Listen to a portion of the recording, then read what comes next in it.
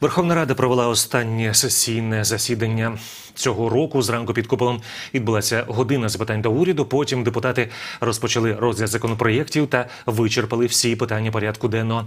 Від ранку у парламенті працює кореспондентка п'ятого каналу, Ірина Сисак. Можемо говорити наживо.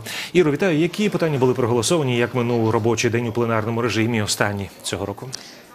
Мої вітання тобі, Ігре. Розкажу про все по порядку. Сьогодні робочий день депутатів завершився навіть швидше запланованого. Працювали як завжди турборежимно.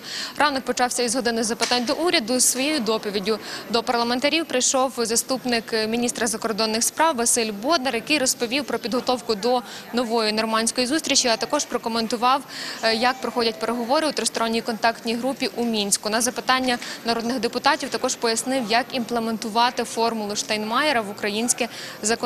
Також е, виступила з доповіддю міністерка фінансів Оксана Маркарова, е, яка прокоментувала е, ситуацію із припиненням виплат незахищених видатків на розвиток, ремонт та будівництво. Запевнила, ситуація тимчасова і триватиме всього лише 8 днів, тому хвилюватися не потрібно. Щодо порядку денному, то в парламенті сьогодні вже у другому читанні підтримали законопроєкт, який має запустити в Україні систему трансплантації людських органів, яка до цього часу в нашій країні не була досить нормально врегульована. Також е, відтак операції відбувалися вкрай рідко. Ця система має бути електронною. Які саме зміни пропонує цей закон? Давайте послухаємо. Перше, внесено зміни, які дадуть можливість розпочати проводити в Україні неродинні трансплантації кісткового мозку. Друге, в проєкті чітко визначено забезпечення належної роботи державних інформаційних систем трансплантації. І третє, проєктом пропонується відтермінувати кінцеву дату утворення та запуску державних інформаційних систем трансплантації до 1 січня 2021 року. Ці інформаційні системи ще в процесі створення, розгортання, наповнення та визначення критеріїв. Технічно, за даними МОЗ, вони розпочнуть роботу не раніше квітня у тестовому режимі. Ще потрібен час на те, щоб ці системи отримали атестат відповідності вимогам КСЗІ. І якщо не прийняти сьогодні цей закон, то 1 січня буде зупинена вся трансплантація в Україні.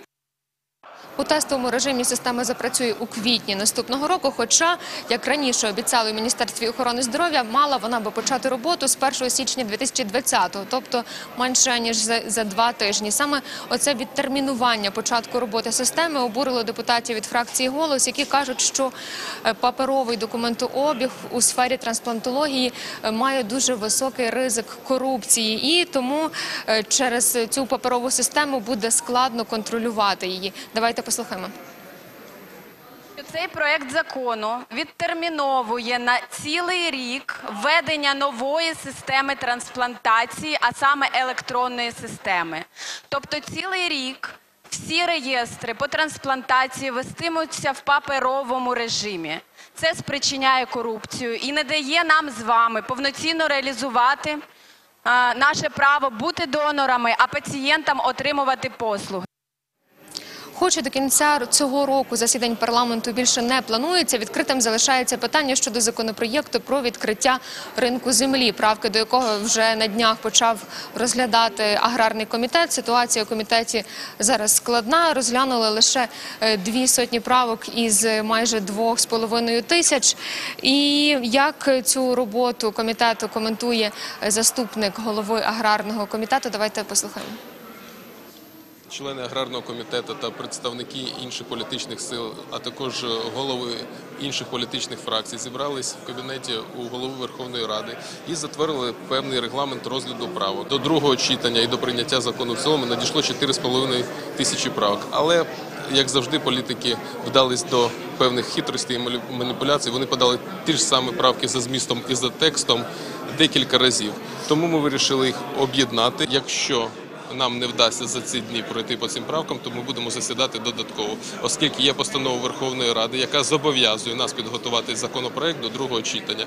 І ми, як законопослушні, і громадяни, і взагалі як відповідальні члени цього комітету, і це питання має дуже велике значення і дуже чутливе, тому ми готові сидіти цілодобово.